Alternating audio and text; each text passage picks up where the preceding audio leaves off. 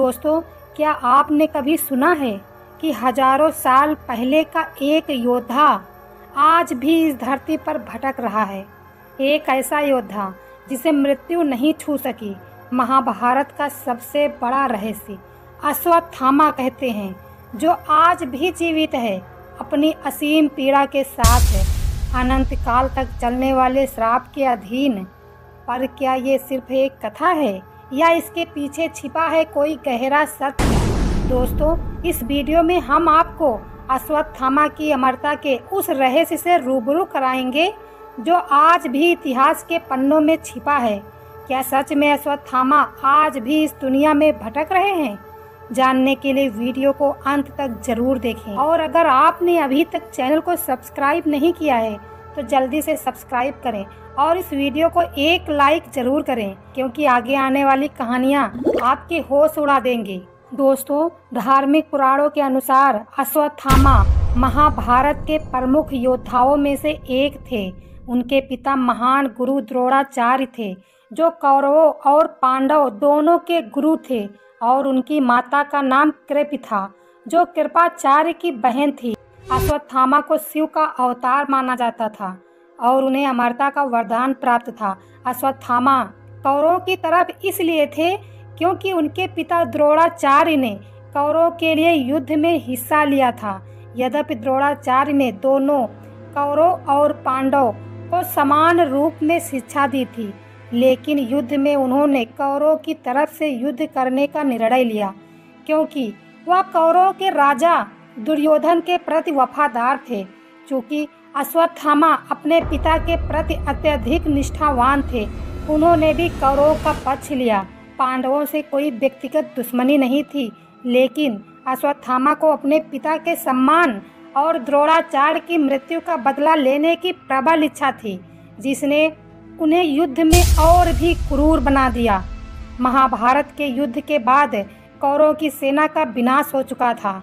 लेकिन एक ऐसा योद्धा था जो इस युद्ध के बाद भी जीवित रहा, जिसे अश्वत्थामा कहते हैं। उसने युद्ध के अंतिम दिन एक ऐसा अपराध किया, जिसने उसे शरापित बना दिया।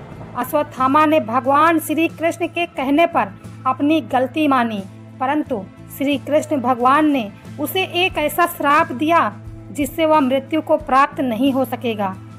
अब सवाल यह उठता है क्या अश्वत्थामा आज भी जीवित है? क्या वह अमर है? कुछ कहानियों के अनुसार, अश्वत्थामा आज भी धरती पर भटक रहे हैं। अपनी अमरता का बोझ ढोते हुए कहा जाता है कि उत्तर प्रदेश के एक मंदिर में उन्हें आज भी देखा गया, जहाँ वे रोज़ाना पूजा करने आते हैं। उनके माथे पर सदियों पुराना घाव आज भी ताज़ा है, जो कभी भरता नहीं। क्या यह सच है या फिर सिर्फ़ एक मिथक? इतिहास के पन्नों में छिपा यह रहस्य आज भी अनसुलझा है। कुछ लोगों का मानना है कि अश्वत्थामा के दर्शन किसी वीराने में गहरी रातों में होते हैं, लेकिन हर बार जब कोई उन्हें देखने की कोशिश करता है तो वह अचानक गायब हो जाते हैं। क्या अश्वत्थामा सच में अमर है?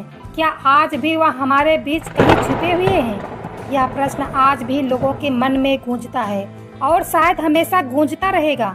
सवाल का जवाब पाने के लिए कई संत और विद्वान सालों से तपस्या और शोध कर रहे हैं। कहते हैं कि अश्वत्थामा को अगर कभी देखा गया तो वह हमेशा एक रहस्यमय छवि के रूप में प्रकट होते हैं। एक योद्धा जिसका चेहरा समय की मार से थक चुका है, लेकिन उसकी आँखों में वह ज्वाला आज भी वैसी ही है। कुछ कथाओं के अनुसार, एक बार हिमालय की गुफा में तपस्या कर रहे एक साधु ने उन्हें देखा। साधु ने दावा किया कि अश्वत्थामा ने उससे संवाद किया और बताया कि वह अब भी अपने पापों का प्रायश्चित कर रहे हैं। कहा जाता है कि अश्वत्थामा के शरीर से बहता खून कभी नहीं रुकता और उनकी पीड़ा उन्हें अमरता का सबसे बड़ा अभिशाप बना चुकी है। आधुनिक समय में भी कई गाँवों और जंगलों में ऐसी घटनाओं की खबरें आती हैं, जहाँ लोग दावा करते हैं कि उन्होंने एक रहस्यमय योद्धा को देखा, जो बात करने से पहले ही ओझल हो गए। कुछ लोग कहते हैं कि वह हर रात किसी एकांत स्थान पर बैठकर ध्यान में लीन होते हैं और कोई उनके पास जाने की कोशिश करता है तो हवा में विलीन हो जाते हैं या रहस्य और भी गहरा तब हो जाता है जब वैज्ञानिक इसे केवल एक मिथक मानते हैं। लेकिन जिन लोगों ने उन्हें देखा है, उनकी आँखों में आज भी उस भय और विस्मय की छवि बनी हुई है। तो क्या अश्वत्थामा सच में अमर है? क्या वह आज भी अपने श्राप का बोझ उठाए, हमारे बीच कहीं छिपे हुए या एक ऐसा रहस्य है? जिसका उत्तर शायद ही कभी पूरी तरह से सामने आ पाए। लेकिन जब तक यह रहस्य जीवित है, तब तक कहानियाँ और किवदंतियाँ इस अमर योद्धा के इर्द गिर्द गढ़ी जाती रहेंगी। अंततः यह कहानी हमें एक गहरे सत्य से रूबरू कराती है कि हर बड़ा कर्म, चाहे वह अच्छा हो या बुरा, अपने पीछे एक अमिट छाप छोड़ता है। अश्वत्थामा की अमरता एक ऐसा अभिशाप है, जो यह याद दिलाता है कि जीवन और मृत्यु से बड़ा कुछ भी नहीं। और अमरता भी कभी कभी सबसे बड़ा श्राप हो सकती है। इस रहस्य का जवाब जानने के लिए आप सोचते रह जाएँगे। लेकिन क्या सच में इसका अंत कभी होगा? इसका जवाब ढूंढना शायद मुश्किल ही है। यही है महाभारत का सबसे बड़ा और अनसुलझा रहस्य, अश्वत्थामा की अमरता। क्या वह वास्तव में अमर है? क्या वे आज भी इस दुनिया में कहीं भटक रहे हैं? यह सवाल शायद सदियों तक अनुत्तरित रहेगा। लेकिन एक बात तो सत्य है, इस रहस्य ने इतिहास पुराणों और हमारे मन में एक गहरी छाप छोड़ी है। दोस्तों, अगर आपको इस कहानी ने रोमांचित किया हो तो वीडियो को लाइक ज़रूर करें और ऐसे ही और दिलचस्प रहस्यों के लिए हमारे चैनल को सब्सक्राइब करना ना भूलें। हो सकता है आने वाले किसी और वीडियो में हम आपको महाभारत के किसी और गहरे रहस्य से रूबरू कराएँ, जिसके बारे में शायद ही बहुत कम लोग जानते हों।